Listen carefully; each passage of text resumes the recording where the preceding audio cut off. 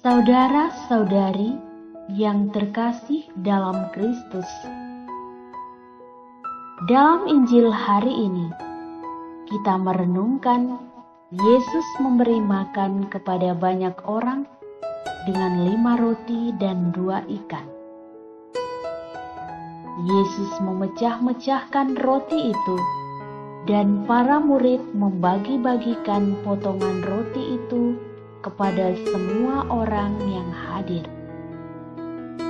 Ternyata, makanan yang seadanya itu bisa mengenyangkan begitu banyak orang. Bahkan masih tersisa 12 bakul penuh. Kisah ini mengajarkan kepada kita akan dua hal, yakni pertama, kita mesti saling berbagi.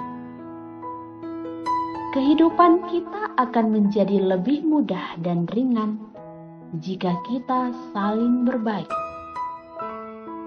Sepotong roti dan dua ikan yang ada akan terasa sangat berarti jika kita bisa saling berbagi.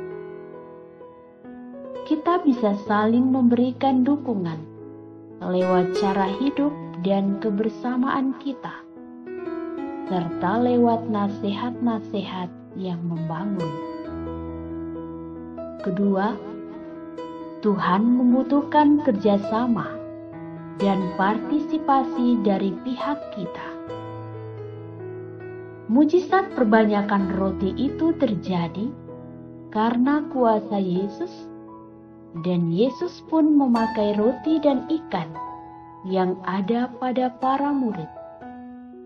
Lalu para murid sendiri juga yang membagi-bagikan. Kerjasama seperti inilah yang diperlukan Yesus dalam membangun dunia dan komunitas kita masing-masing. Selain kita saling mendukung, kita perlu membuka hati untuk Tuhan Tuhan akan memakai kita untuk tujuannya.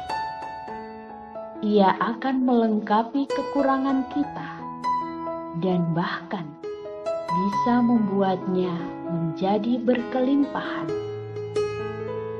Mari kita saling berbagi roti dan ikan yang ada pada kita dalam kehidupan bersama, agar kita pun dikuatkan untuk berjalan di jalan Tuhan. Tuhan memberkati kita.